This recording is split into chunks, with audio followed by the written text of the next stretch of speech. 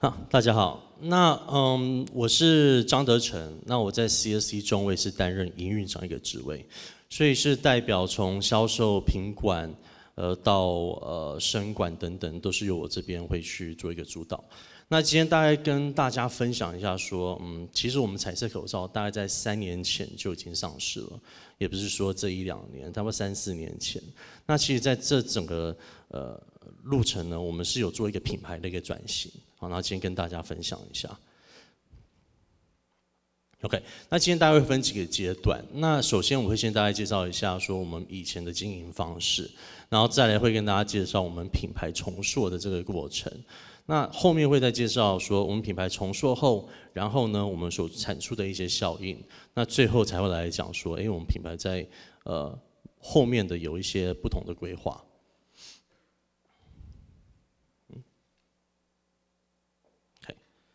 那我们公司是在一九四七年成立的，那所以呃到目前来，我我是第三代，所以是我爷爷那时候成立的。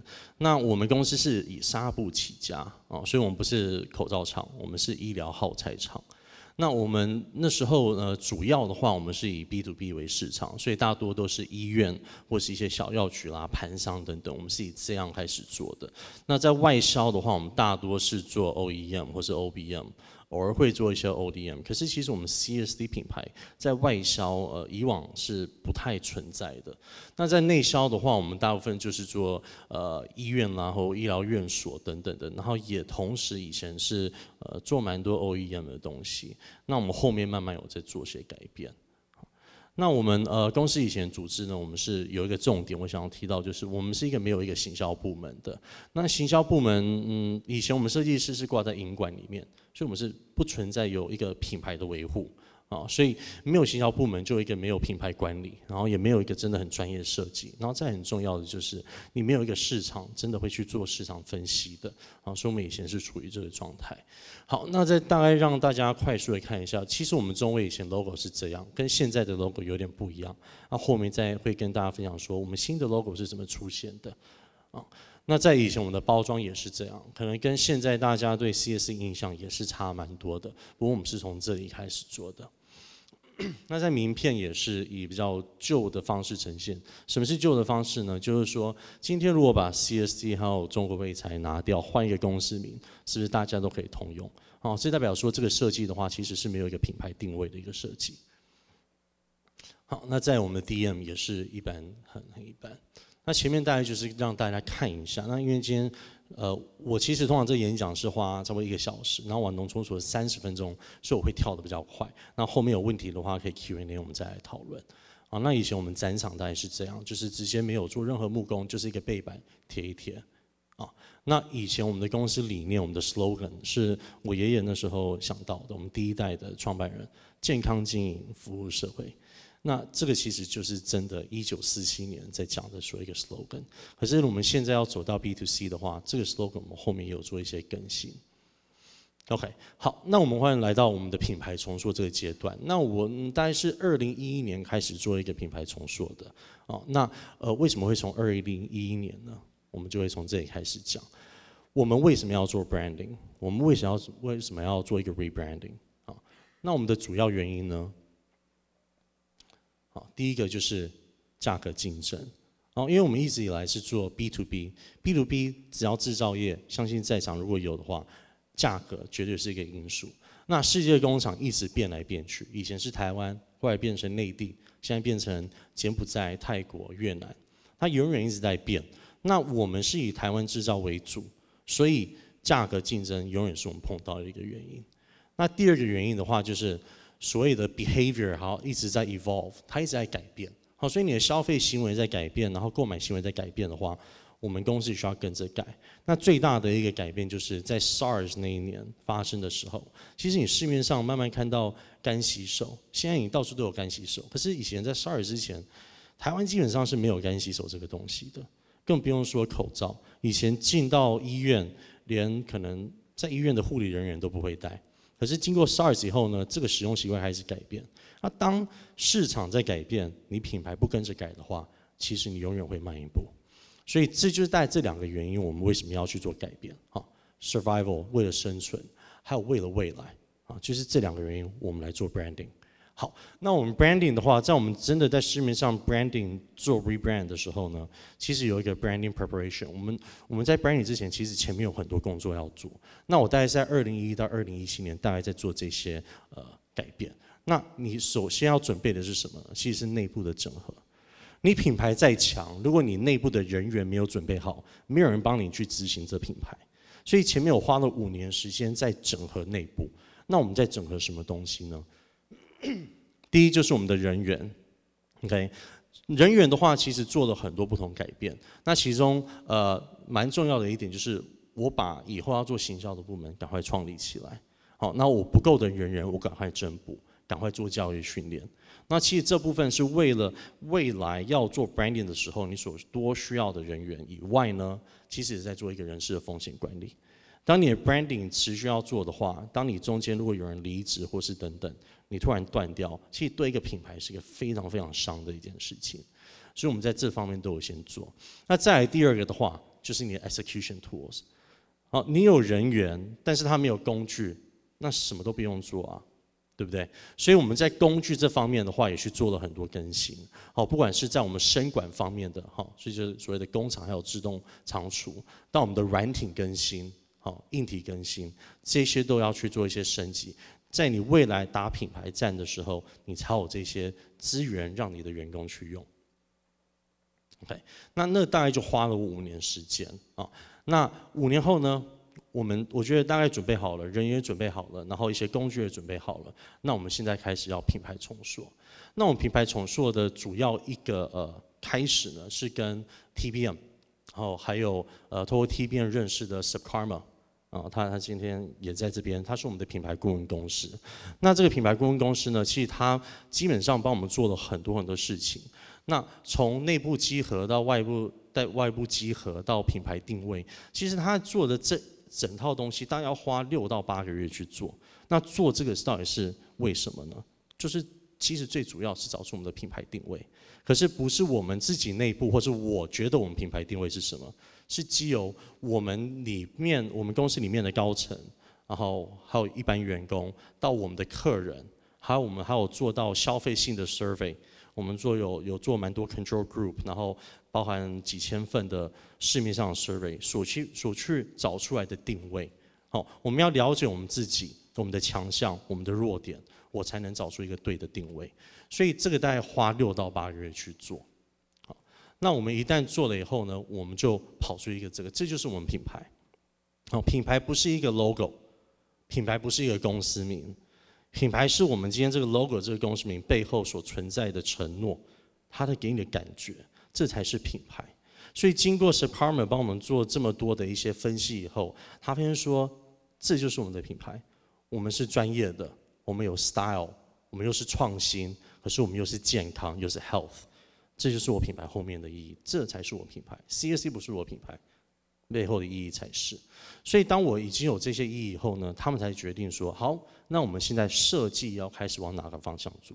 走，先有承诺，先有感觉以后才做设计。所以他在整个帮我们设计的选的颜色呢，哈，所谓的蓝色这个。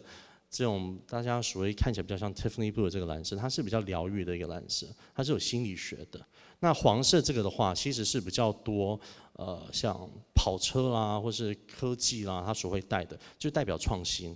OK，那在灰的话，这种灰其实是比较时尚的一种灰。好，所以我们就要把品牌年轻化。那相对的，它也会说每个颜色它所应该占的比例。他都会帮你设定出来，去找出怎么通过设计去沟通你一个品牌的定位。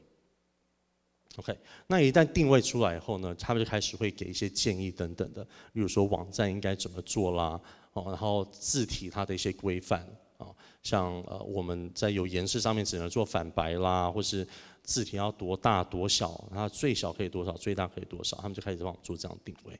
OK，那今天其实前面那个都要花六到八个月，今天是讲的比较简单一点。好，那这些他们做完以后呢，其实他给我们的东西是一个品牌的 marketing material。那有这些 material 以后呢，其实你公司要自己去做执行。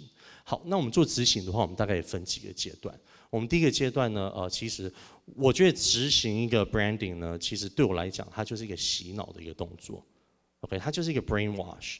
好，你持续一直讲，持续一直沟通，其实慢慢大家就会变得很自然，对不对？我们持续从三三四年前持续一直在市面上讲说时尚口罩、时尚口罩、彩色口罩，其实慢慢大家现在就觉得口罩好像应该就是要有颜色，对不对？所以这就是一个 brainwashing。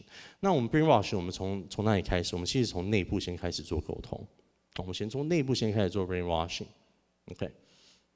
那我的理念其实是说。你内部如果都不懂的话，那他们如何去卖你这个品牌呢？如果你内部人员都不信你这个品牌，其实他们在往外推、去跟客人介绍、去沟通的时候，其实什么都做不到。所以一定要从内部先开始做这样的一个所谓的洗脑动作。那我们在内部的话，其实我们会有一个完整的品牌课程。那我们是透，我们是由呃 s c r a m e r 的老板，他们直他直接来帮我们做一个解说，说我们这个品牌品牌到底是什么。是先从这样开始，然后才说全世界有哪一些品牌有有做的很成功，那是为什么？慢慢才导入说我们 CSC 品牌是什么？我们是一个很完整的课程，那是从高层到一般作业员，他们全部都可以来听，全部都可以来上，不是行政单位而已，是包括我们工厂那一面的，他们都可以来听，他们都要懂。那在这在这家公司，他做的东西才会到达我们要沟通的讯息。OK。那再来的话，就是在整个工作环境要持续去做一些更新。今天如果是创新，如果是年轻化的话，那我们就会在公司的不管是硬体或软体设备，或是整个 design 也会去做一些改变。好，那再来就是内部的文件，因为其实当你去做一个品牌重塑的时候，你其实很多内部文件是旧的，它不不一定会是你新的 logo。我建议就是一次要全部改，让他们一直重复看到这 logo，慢慢它就会。直接觉得说，哎，新的品牌那是很自然的，比较不会有所谓的呃转型、船长会碰到的一些问题，会有一些抗拒的这种呃老员工。你要做就是做到位，要不然他会觉得你只是来玩玩的。OK，那我们内部做完以后，我们开始做外部。外部一些很基本的，就像我们网站需要去做一些更新，那包括我们的货车这些，我们也持续有去做一些更新，包括我们的名片也开始改了。那这是我们的礼品袋，也是做的比较时尚一点，已经不是所谓的 B to B 的这种形象。那再来，其实在我们内部的一些呃，其实这是我们的员工服。啊，通常我们看到员工的制服是就 Polo 衫，然后定制的，然后这就绣一个 logo。然后结果有可能去拜访客户，两个人是穿一样的，有时候就碰到这种尴尬的场面。OK，所以我们在做就会比较不一样，我们就去完全展现我们我们品牌代表什么。我们是年轻化，我们是色彩化，我是 innovative，所以我们员工服就是一件 T 恤，中间是一个 logo。好，那包含我们的呃，这也是我们员工的帽子，然后我们的笔记本也都是比较活化一点。那这是我们的红包，那这个是我们给给我们员工的牛仔。牛仔的外套，我们都是把它员工制服也要做到你品牌这个形象，所以我们是从内到外都一定要这样做。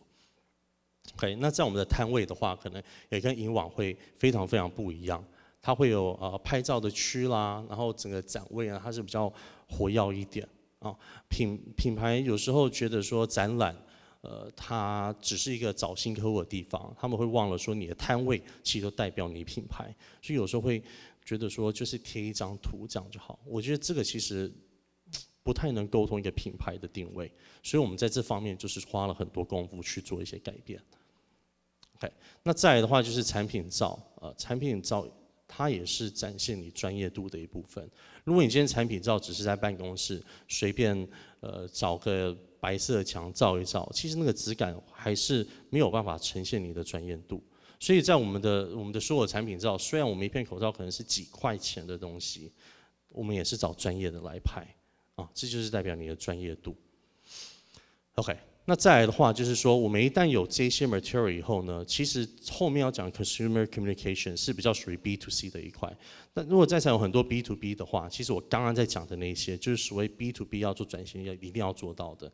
那在 B to C 的这一块呢，是嗯 consumer communication 比较属于 B to C。那 communication 到底是什么呢？那那首先说，刚刚已经有一个品牌的一个形象出来，可是我们在品牌形象出来以后，我要怎么去跟消费者沟通？那我们在整个品牌形象出来以后呢，我所先想到就是，我再要推什么一一个一个新品，要创造一个明星的一个商品，代表我一个新的品牌 OK，那就是翻转品牌形象，哈，新品新品品牌，然后它也是一个沟通工具。你所有产品都是你一个品牌的沟通工具。OK，那那时候我就开始想，我们那时候其实只有做这三个颜色的口罩，那口罩只是我们其中一个商品，可是这个商品是应该是在我们 top two 的一个一个商品 category。所以那时候我就想说，哎。我们口罩已经是我们熟悉的东西，所以如果透过这个去做一些创新的话，其实我风险也是低的啊，其实都有考量过。那再来就是，呃，我自己本身呃以前也不是很爱戴口罩，因为当戴口罩的时候就觉得，呃，旁边会觉得说我是不是感冒了，或是我刚从医院出来啊，所以我就想说，哎，那我们怎么样去做一些改变，让这口罩呃可以整个转型，然后也可以符合我们品牌的一些价值。那我们就往这方面去想，风险也是最低的。那我想了以后就觉得说，我们是不是就做把它做很多不同颜色？很多不同颜色的话，其实现在就是有一个 consumer market 是每天都戴口罩。那口罩如果跟衣服一样每天都要戴的话，那它是不是也跟衣服一样每天都不一样？对不对？所以我们我们就是基础的发想是来自这样的。那当然有很多其他细节的考量，可是大概是这样。那一旦我们有口罩以后，一旦我这个 idea 以后呢，那我们就开始说好，那我怎么把这样的商品做成一个符合呃我的 brand image 的一些 communication 所需要的 material 啊？那我们就出了一个这样的东西，OK。一旦有商品以后，如果你在视觉在沟通没有办法去呈现或表达你想表达的感觉的话，那其实你商品再好也没有用，OK？所以我们就在这方面就去创造出一些比较创新的。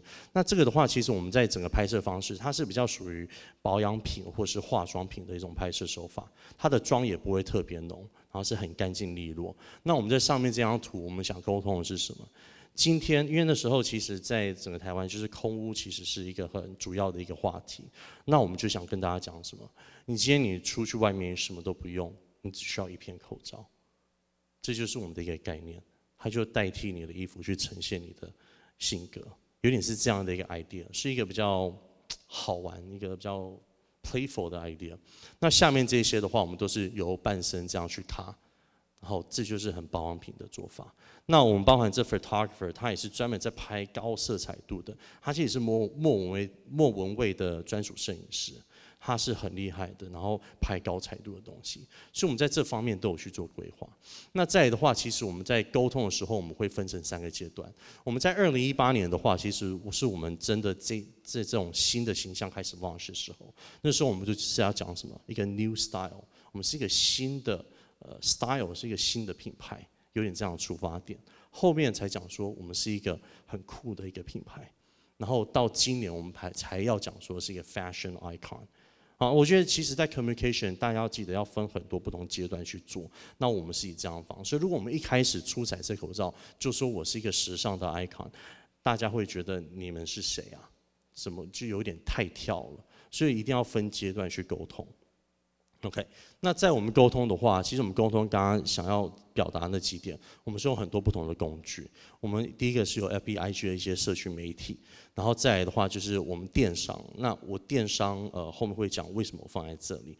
那在我们出我们的官网啦，还有一些广告的投放，还有一些媒体曝光。那我们首先的社群媒体的话，我们会依照不同的社群媒体去放不同的照片，因为像 FB 和 IG 的话，这样比起来，IG 其实是比较年轻的，所以我们会根据不同的社群媒体去放一些呃他的 TA 的一些形象。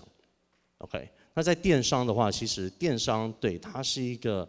有收入来源的一个一个算平台，可是对我们对我来讲呢，其实电商它更大的一个价值是，它其实就是一个你能赚钱又能打广告的地方。所以在这上面的话，我我才会这么注重这种商品照这种东西，因为你这个上去是全台湾甚至可能全世界都看得到的东西，所以商品照你在这里形象是很重要的。那有时候做活动你会有一个这么大一个图，如果你不趁这个机会好好去呈现。呃，你的品牌的话，那它在上面销售可能也不会你想象的那么那么好，所以我才把它归类在一个呃沟通的一个 tools 里面。好，那再就是官网的优化，你官网的话，一定要符合你新的品牌想讲的事情。那今天我们是想讲，呃，我们是比较创新，好，我们是可能一个比较 brand 的一个公司，已经不是 B to B，是 B to C。所以我们在网页我们是装装了很多不同语言，不是只有中文和英文而已。我们日文、韩文、西班牙我们都会都会放上去。OK，那再就是广告投放。啊，广告投放其实我觉得，这我想讲的就是，我们连饮料店都会放。那应该是说，你要投放的地方是要符合你 TA，不是最最贵就是最好的地方。OK，那后面的话就会有一些媒体的曝光，是 OK，OK。那再来的话就是我们品牌重塑后的一些效应。OK，那其实第一的效应的话就是艺人合作。啊，其实这是针对我们的品牌啦。那今天我们可以跟像谢金燕这样的人合作呢，其实正是因为我们品牌做的够扎实，他才愿意跟我们合作。我想强调一件事情，谢金燕不是我们的代言，他只是跟我们一个合作案，所以是没有任何代言费用这样的东西。那是因为我们的品牌是符合谢金燕这个品牌，那我们做的够稳，他也认同，所以才有这样的合作机会。姐姐谢金那这里就是像一旦有跟这种艺人合作机会以后，其实后面后面有很多一些广告的这种呃免费的露出，这样品牌做得好，其实这些都是一种效应。好像这个我们是并没有花任何钱的。OK，那后面的话呢，其实我们周汤豪，我们只是单纯送他口罩，可是他因为很认同我们品牌，也很喜欢我们品牌的产品，所以他就是动不动就会自己破文。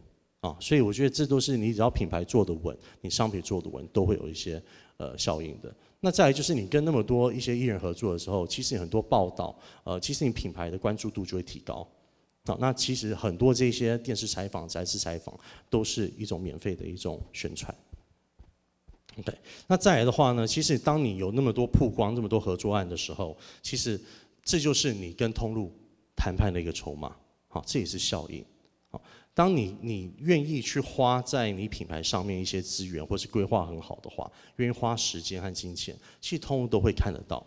自然而然，你在上架呢，其实都会变得比较轻松。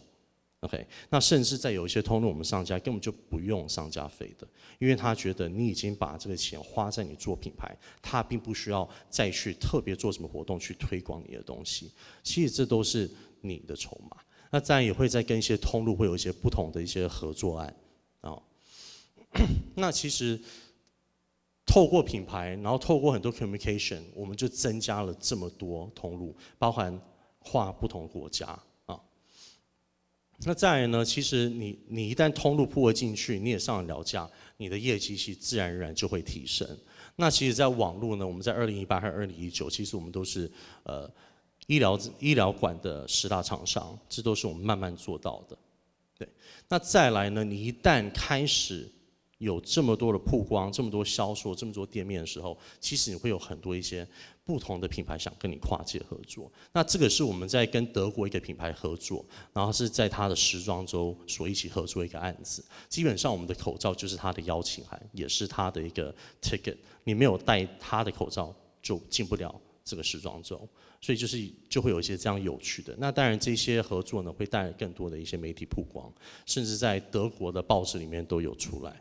那德国其实要上到它报纸的话是非常非常难的一件事情的。那再也是有像跟法国 L 这种的联名口罩，也是他认同我们品牌才愿意跟我们联名。要不然这种国际大厂呢，它其实基本上很少会开放联名这样的一个选项，尤其是我们是一个很 local 的一个台湾的一个公司。那再来的话，也是迪士尼，大家很熟悉的。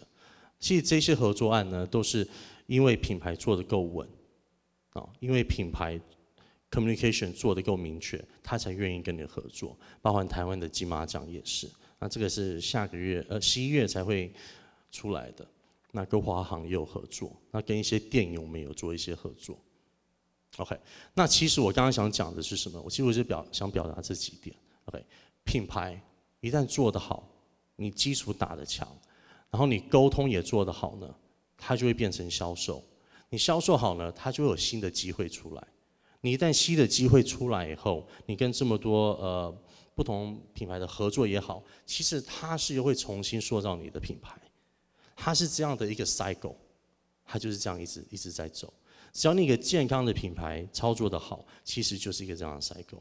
那你永远就有办法生存，你永远一定会有未来。你品牌不每一年、每两年一直在反转。OK，那其实我们想说那个 cycle 的话，大概就跟大家看一下，说这 cycle 到底是什么意思？我们二零一九年是以这样的形象在呈现，刚刚是二零一八年，这是二零一九，它变成一个比较酷的一个 brand，所以我们在整个拍摄手法都是比较酷一点的方式去做。OK，那像这个也是我们在华纳微秀，我们就是把它做的很像海报的方式，电影海报方式去呈现。OK，然后它就是我们形象每隔几年会做一些形象片的拍摄。好，那我今天不会播完，不过我们网站都可以看。它就是一种比较抽象的方式，它比较酷的一个品牌的方式。OK，那到了二零二零年呢，我们去过德国，我们去过玻璃时装周等等，我们去转换它的一个 brand image。到二零年，这 cycle 我已经回来了。好，它我们现在要沟通就 fashion icon，一个时尚的一个概念。OK，那时尚概念呢，它在整个像我们这个拍摄手法，它也会变得非常非常时尚。这就是我所谓讲的，你每一年沟通的东西都要分阶段去沟通，大家才有办法去 catch 到这个你要你想要沟通的东西。有时候跳太大的话，大家不会理解。所以像我们今年就是比较以这样的方式去呈现的话，大家很能理解。哦，口罩现在是一个时尚，要要跟我的衣服要要配，啊，对，所以就是一个这样的概念。OK，那我想最后作为结尾，因为时间也差不多，就是说，呃。A well-executed brand brings infinite possibilities。当你一个品牌执行的很好、很成功的时候，其实你会有不同、很多不同的可能性，很多不同的发展。那我们举个例好了，我们也没有想到说，以前在做品牌，没有想到说今天会，呃，会有人在收集口罩这件事情。我们三四年前怎么会有想到会有人这样在做呢？可是确实，我们那时候打基础。做得很稳，所以今年我们才有办法，嗯，透过大家对口罩比较关注的时候，所做出来呃一些一些成效。那我们其中一个举例好了，这是我们大概上礼我们上礼拜所发表的，这是我们这次在医疗展所呈现的。那这是我们的摊位，我们摊位全部刷白，我们只有这样一个一个格子里面会呈现我们的商品。好，那其中一个格子里面，它就是呈现一个这样的 image。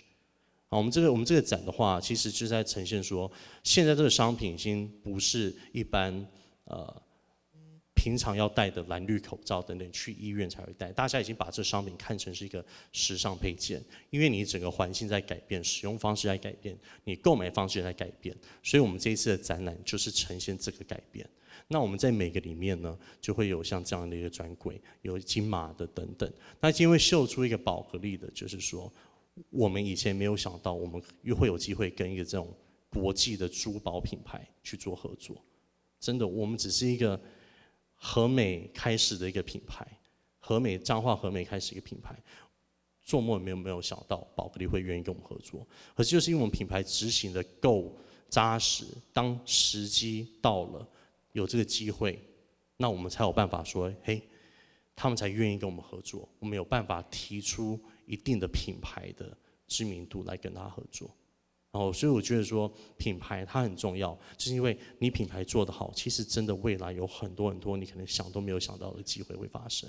好，那这就是所谓的一个整个 cycle。OK，那我今天的演讲到此为止，谢谢。